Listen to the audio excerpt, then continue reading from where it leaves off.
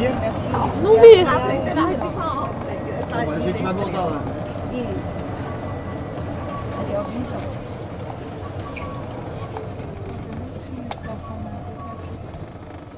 Ai, tem educador ali. Um visitante. Uau.